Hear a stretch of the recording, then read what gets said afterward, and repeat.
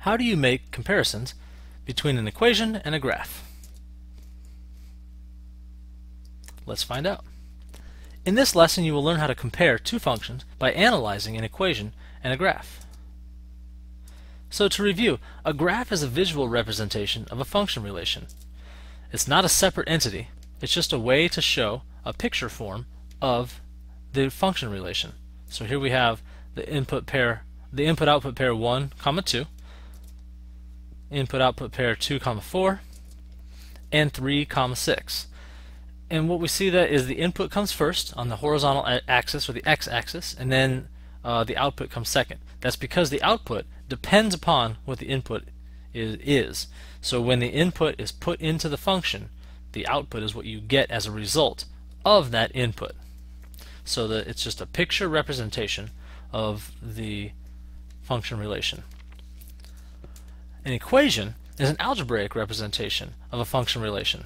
We're not expected to build these yet, but just want to show that if I have an input and output, it looks like that every time I get an input, I can multiply it by 2 and that would give me the output. So an equation would look like y equals 2 times x.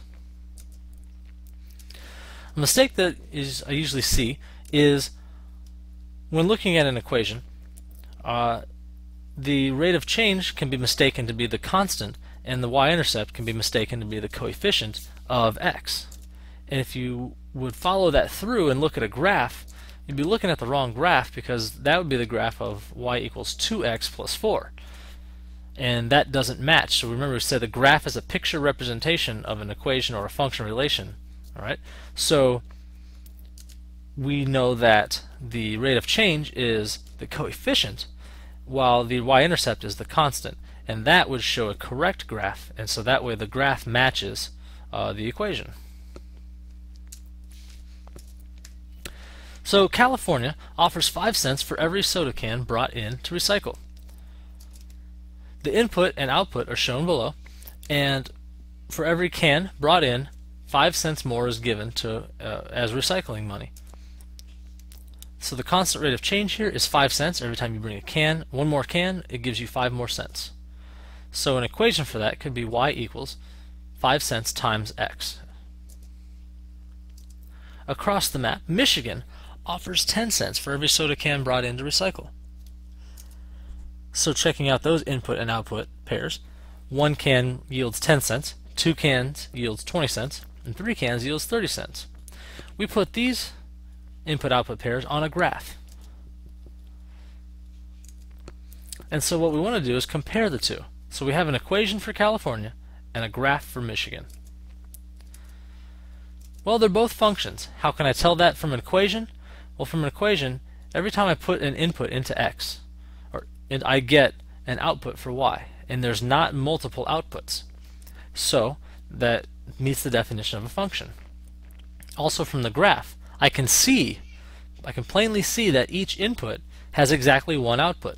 There's no um, multiple outputs for inputs, and so that also meets the definition of a function.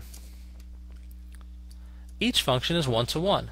How can I tell that from an equation? It's not readily apparent, but I know that if I was to put one in, one can, my, my return would be 5 cents. Two cans would be 10 cents. Three cans would be 15 cents. I know that each amount of cans I bring back is going to give me a unique answer. And what that means is that no amount of cans, such as 3, 4, or 5, shares the same return value. Each one is different. So because each input-output pair is unique, that's a one-to-one -one function. I can plainly see that on the graph, that every set of cans brought back has a different rate of return. So each function is one-to-one, -one, and each function has a constant rate of change. California's is 5 cents, Michigan's is 10 cents. And what we can say about that is that Michigan's rate of change is greater than California's rate of change. And finally, looking at a graph, just remember that the rate of change is the coefficient of x. It's the change in y divided by the change in x. And the y-intercept is the constant. It's the value of y when x is 0.